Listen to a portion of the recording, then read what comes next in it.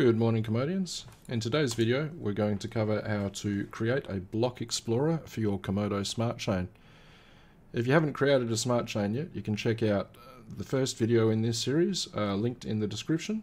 And installing the block explorer isn't too difficult uh, thanks to the work done by Decker and gcharang. We'll just uh, use this simple repository follow the steps from the README, uh, and it really should only take us about 10 minutes. So the first thing we want to do is to stop our smart chain. I'm using the Rock smart chain that I created in the last tutorial. The reason we're stopping the smart chain is because as we run through the installation of the Block Explorer, uh, some parameters in the conf file will be changed and we'll need to restart the chain with a reindex so that those additional parameters will take effect. So once we've stopped the smart chain, we'll just uh, clone that repository onto our server and enter the folder that it's in. And we've got a very simple script here which will grab all the dependencies and set up everything that we need to, to run the Explorer. So again, just a simple copy paste the setup Explorer directory shell script We'll have to enter our sudo password so that we can open the correct ports and install the correct dependencies. And this will take two or three minutes, so chance to go grab yourself a coffee, pat the dog. Once that's finished, you'll see that there's a subdirectory called node modules that has installed all the dependencies. And the next shell script We'll give it a parameter that is the name of our smart chain. It will detect our conf file, modify it accordingly, and prepare our chain for usage on the Explorer. So before we run this one, we'll just have a quick look at the existing conf file as we set it up in tutorial 1. And you can see there we've got our RPC user password port, uh, a few other bits and pieces, and we added the pub key and add node to the bottom. And now we'll run that install asset chain explorer script. And once that's done, we'll have another look at the conf file to see how it was changed. So as you can see, it's removed our pub key and add node parameters. And it's added a few extra ones which allow it to communicate with the Explorer and also a few parameters which store more information about the blockchain on our local drive. Now that that script has completed, we'll just open up and edit the conf file again so that we can re-add our pub key and add node.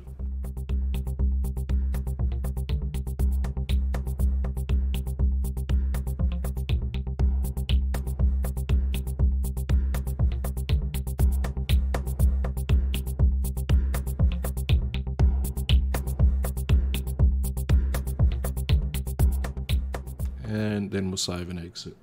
That last little script created a folder specifically for our Smart Chains Explorer, including a script which will start the Explorer for us. And now we are ready to launch our Smart Chain again, but I won't use the launch script just yet. I'll just copy the launch string and we'll put dash reindex at the end. And that'll update our chain data with the extra information such as the address index, timestamp index, etc., which is used by the Block Explorer to display more information about what has been happening on the chain. Now if you're doing this on an established chain that has been running for a while, a reindex might take some time, but because I only just created this smart chain a couple of days ago, the reindex should complete in less than a minute. Next, we'll have a look at the roc-web access file, which tells us where we need to go to have a look at the Explorer. And you can see there that's uh, the IP address of the server that I'm using and the port that has been assigned for the Explorer. And now that we have that, we will launch the Explorer with the roc-explorer-start script. There we go, so we can copy that URL from the web access file, head back to our browser, enter it in, and there you go, we've got a Block Explorer. By default, the Block Explorer will reference Komodo all over the place. So there is a little bit of extra customization to be done. I'll show you a couple of simple customizations to begin with. Uh, but you can go much further with customized CSS uh, to change the color of elements and any other creative changes that you may have in mind. The files you need to tweak in order to implement some customization are under your Chain Explorer node modules, Insight-UI-Komodo public folder. First one we'll have a look at is in the JavaScript. So you can see we have a, a main.js and a main.min.js. The Explorer will use the minified file, so I'll just open that up. Unfortunately, this file is all squashed together, so it's not really nicely readable for humans. But one thing that we can do is copy it all, except for the comment. And we've got a few minifier and unminifier tools that you can just search for online. Just copy it in there, hit unminify and you can see it's all nicely laid out for us now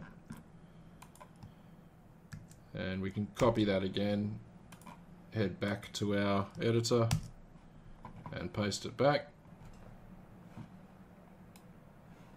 so you can see at the top here we have the net symbol variable which is set to KMD at the moment and that is used as the default currency which is why when we have a look on the Explorer page, we have KMD at the top here, and we also have it after any amounts that have been transacted.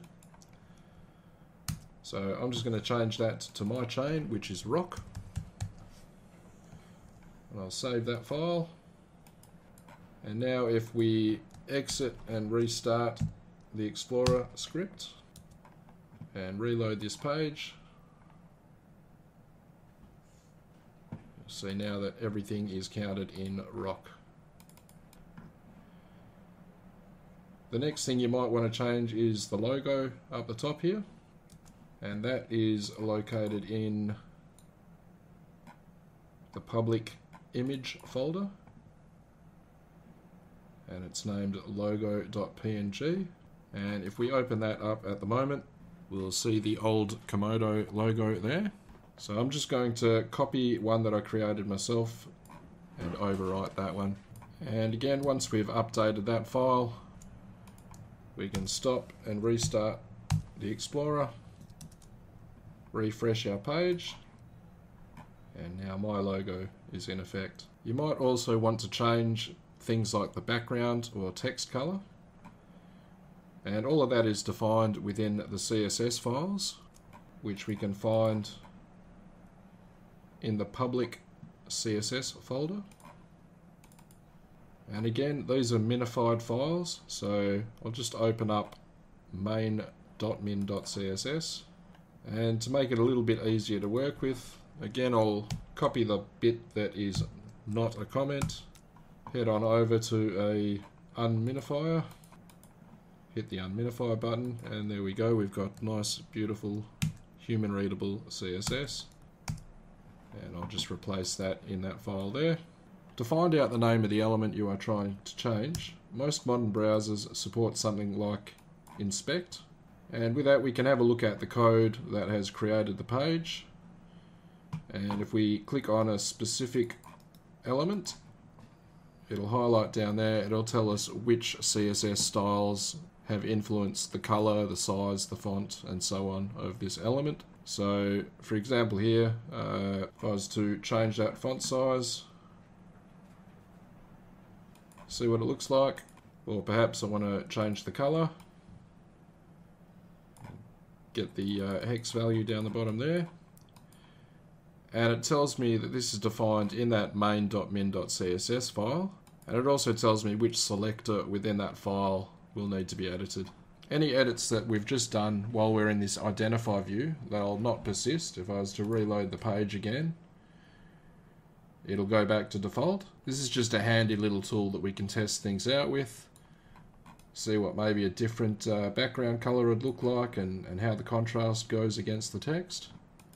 But if we actually want to make that change permanent, we'll have to change it in that main.min.css file. So for example now, if I want to change the main background to something a bit darker, copy that hex value there, You can see it's the body selector that I'm looking for. So head back to my main.css file.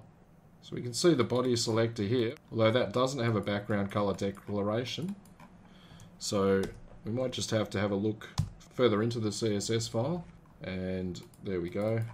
You see that, we update it with our value, save the file, stop the Explorer, restart it, and then refresh this page. You can see that now that change is permanent. And from here it's just a matter of rinse and repeat. Update the elements that you want to change. And once you're happy you'll have a fully functional, customized Block Explorer. And that brings us to the end of this tutorial.